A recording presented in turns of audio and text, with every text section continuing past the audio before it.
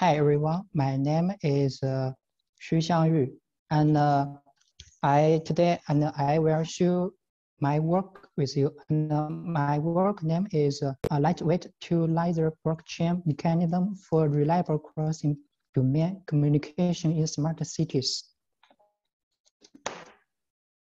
The smart city is an emerging notion that is leveraging the internet of things technology to achieve more comfortable and smart cities. However, smart city face many challenges. First, smart city is a huge and complex system, and uh, various devices are mainly not interoperable between them. Secondly, many data generated are privacy sensitive, such as user identity.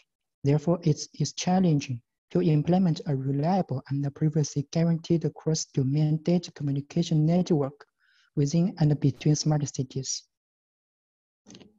In order to solve the problem, there is a key to discussing. Producing many rep representative values. These schemes prove that blockchain as the infrastructure can well organize the interactions within the distributed system and ensure the data integrity. Therefore, we could adopt blockchain to solve the problem of cross-domain communication within the between smart cities. However, the application of blockchain in IoT has many drawbacks.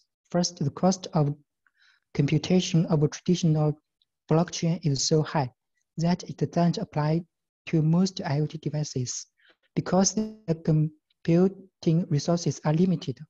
How to balance the reliability and the efficiency of blockchain could be a problem. Second, blockchain is a public distributed ledger and any participant has the right access our information on the chain. This privacy protection brings challenges. In this article, we designed a lightweight blockchain based on two-layer blockchain to meet the cross-domain communication requirements of smart cities to address the mentioned issue. Our contributions are as follows. We adopt a layered network structure to op optimize the consumption of computing resources and realize access control. Second, we design a lightweight consensus protocol for the subchain, which enables the nodes to reach agreements to port date, dynamically manage the credit value on each node. Then we will we will briefly introduce the scheme, including subchain, global chain, the blockchain structure reconstructed, and a consensus protocol based on reputation evolution.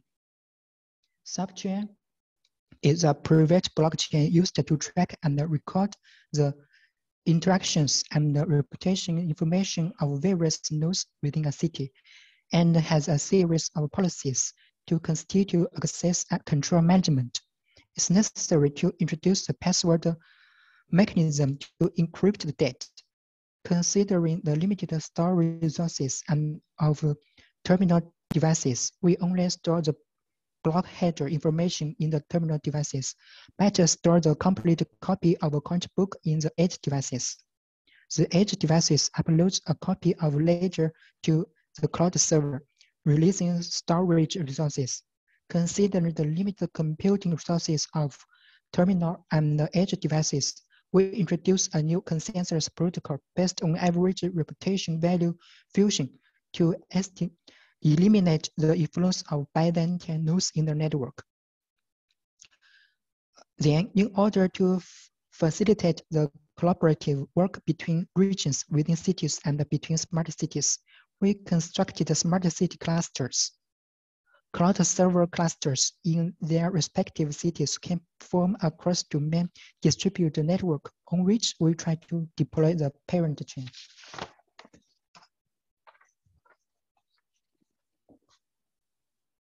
As we all know, it's unreasonable to deploy the blockchain based on proof of work protocol on these devices. Therefore, we reconstructed a new blockchain for the subchain. Blockchain block structure. A block is a, a block in subchain consists of a header and a body, whose structure is shown in Table 1, including the current block hash, the previous block hash, reputation root, strategy table, time step, and the transaction root. The book body is composed of a reputation tree and a transaction tree. The reputation value of each subchain node is recalculated after suspicious behaviors, such as violating the access control policy and the creation of invalid blocks or transactions. Transaction structure. The transaction structure is shown in table two, where we define the microscale transaction data structure in detail, including the initiator device's ID, the target ID, initiator signature, and additional data segments. The data structure take up very little storage spaces and save the limited storage resources. Data processing. Very new node is assigned a pair of public and private key before entering the domain. The unique ID of each node comes from its own public key to ensure the ensure the anonymity. When a node receives a transaction, it must verify the signature of the transaction message to ensure the integrity and authorization of the transaction message. And the transactions that are not validated are discarded. In order to minimize the computational over, overhead of terminal and edge devices, we use lightweight hash digest algorithm because it is considered to have a high performance in both program size and cycle counting. Storage release. The, cap the capacity of terminal and edge equipment is limited. So we can infer the use frequency of equipment and try to back up the data when the use frequency is low. After data backup is complete, terminal and edge devices need to free up memory in a timely manner.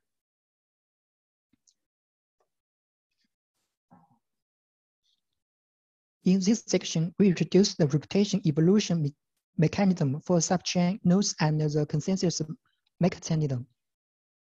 When a new node joins a domain, other nodes set an initial credit value of 100 for that node.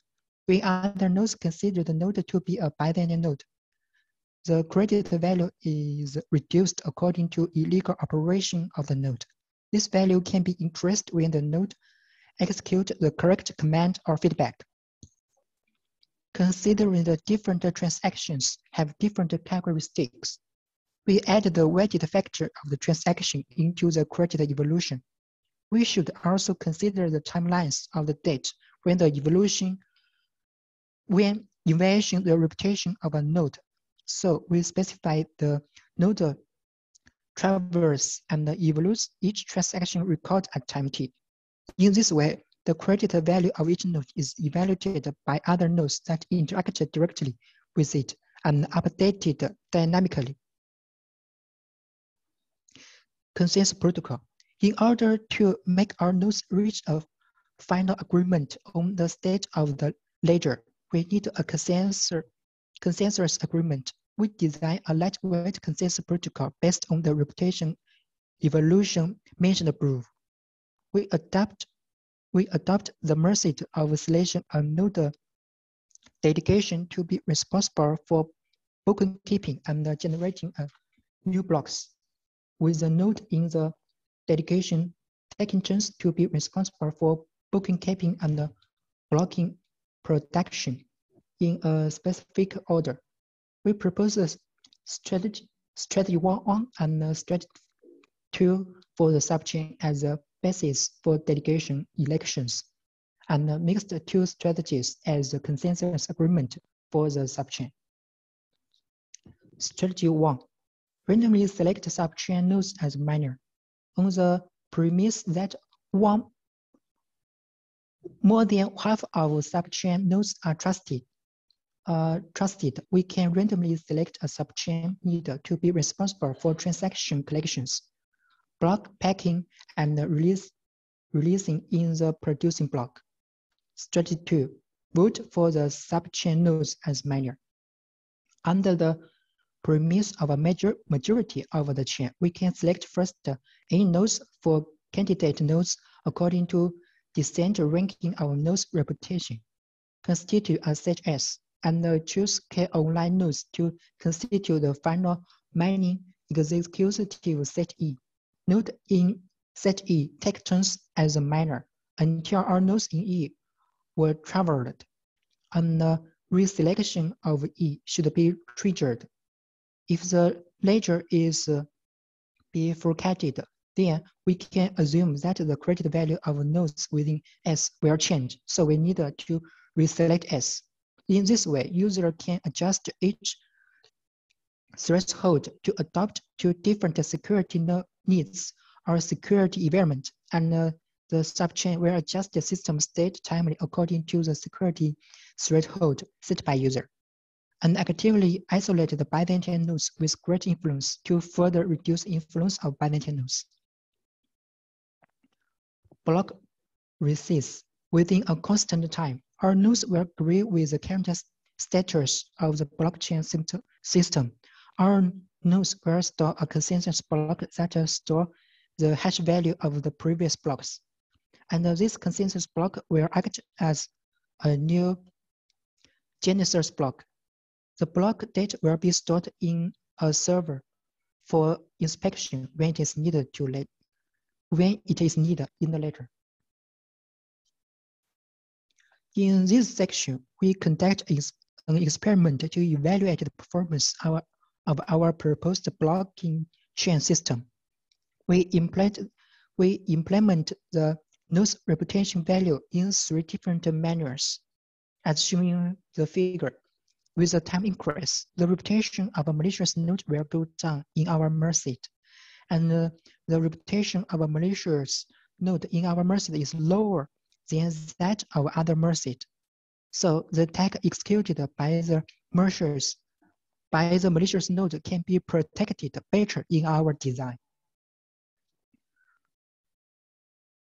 That's all my work. Thanks for thank you for listening.